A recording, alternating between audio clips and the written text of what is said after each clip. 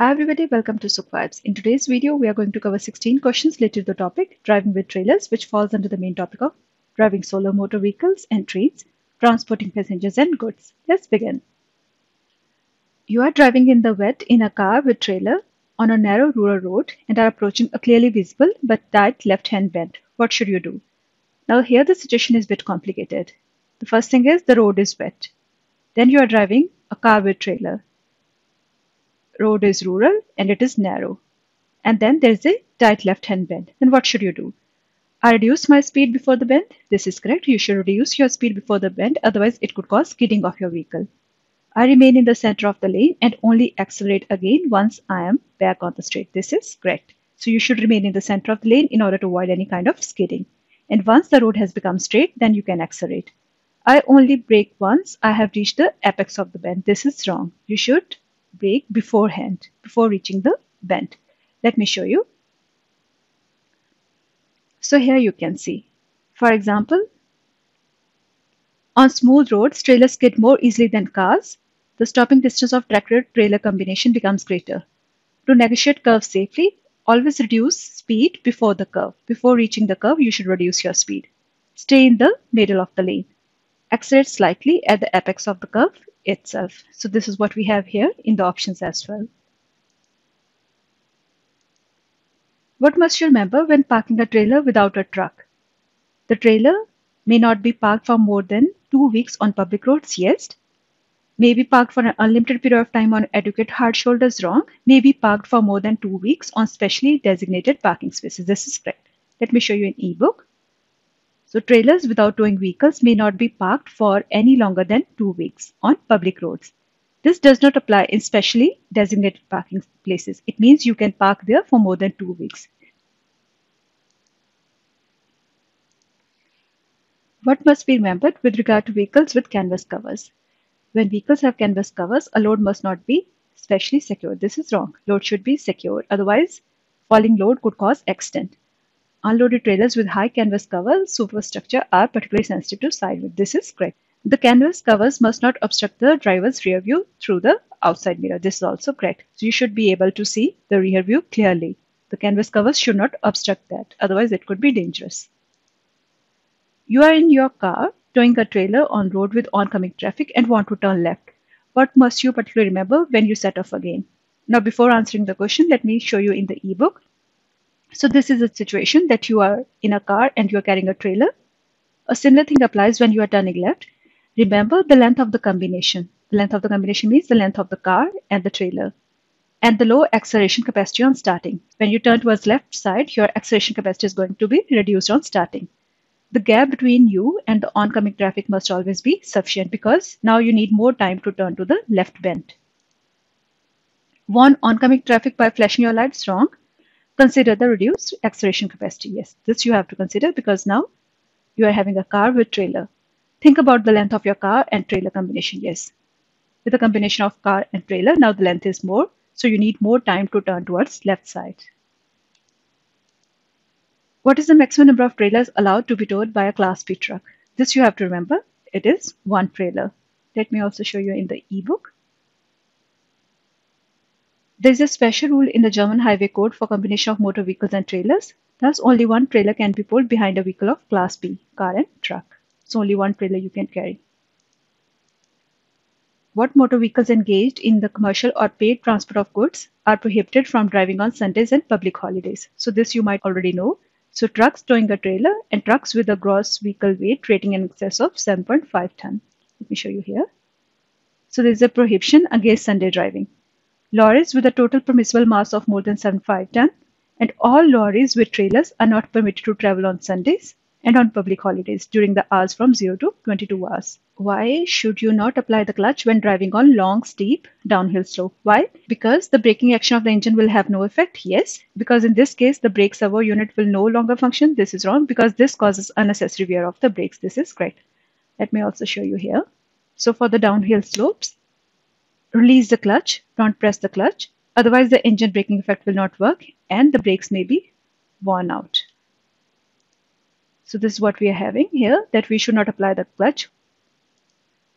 You are in your car towing a trailer which has no brakes and you approach a long steep downhill slope. What is correct? Before answering it, let us read through it. So this is symbol for the downhill slope. What are the things that you have to keep in mind? Take account of the push of the trailer. Drop your speed beforehand. Put the car into a low gear in good time. Release the clutch. This is the thing that we have also read in the previous question. So you should release the clutch. Don't press the clutch, otherwise the engine braking effect will not work and the brake may be worn out. Never turn off the engine as otherwise the steering system may become stiff in vehicles with power steering. in vehicles with brake booster, the full effect cannot be achieved despite increased pedal force. And be prepared to brake. So while downhill slope, you have to keep all these points in mind. Now coming back to the question. Reduce speed, if necessary, engage low gear in time and be ready to brake. Yes, this is correct. This is what we have read in the ebook also. Make allowance for the pushing effect of the trailer. This is also correct. Relieve the car brakes by disengaging the clutch at frequent intervals? No, you should not press the clutch because otherwise the braking system of the car will not work and it will also cause wear. What changes in a car when towing a two axle trailer? So let me show you. Over here, the tractor trailer combination needs more space. You are going to need more space if you're carrying a trailer. Your acceleration capacity will become low the overtaking distance is considerably longer because now you are having a car with a trailer. So your overtaking distance is going to be longer and the braking distance is also longer. Acceleration capacity is reduced. This is correct because now you are having more weight. So car with trailer. Driving stability increases. Wrong. More space is needed when turning and driving around the bend. This is also correct. You are in your car towing a fully loaded trailer which has no brakes. What is correct? braking distance increases. Of course braking distance increases. Why? Because now you are having a combination of car and trailer. And moreover the trailer has no brakes. Stopping distance reduces? No. Reaction distance increases? No. Only braking distance increases. With which vehicles are you not allowed to drive on a road sign posted like this? So what it shows? It shows a truck and the length is 10 meter so if your vehicle is having a length less than 10 meter then you are allowed to use this road Tractor with trailer, total length of the combination 12 meter. No, you are not allowed to use this road. Truck with length of 9 meter including load, this is okay because up to 10 meter we can use the road. Car with caravan trailer, total length of combination 11 meter. 11 meter is greater than 10 meter, so this is also not allowed. What is the effect of cornering characteristics of a combination vehicle? Car towing a caravan when taking a turn. The caravan can jut out, yes, it can swing out, generally follows the track of the car, not really. Can cut the corner. This is also correct. So let me show you here. When turning, trailers can both swing out and cut the corner. Therefore, pay complete attention during this maneuver. This is what we have selected over here, that the caravan can jut out, it can swing out, and it can also cut the corner. You are driving on a road with potholes and your trailer starts jumping. What must you do? So you should reduce your speed. Proceed at the same speed and avoid potholes. This could be risky because your vehicle could skid. Accelerate to keep the combination of vehicles straight wrong. Reduce speed in order to avoid skidding. Yes, this is the correct thing to do. Which factors lengthen your braking distance? Towing a trailer not fitted with brakes? Yes, this we have also seen in the previous questions. Driving down slopes? Yes, because there is always a pushing effect. And moreover, when you are driving down slopes, there is also momentum of the car.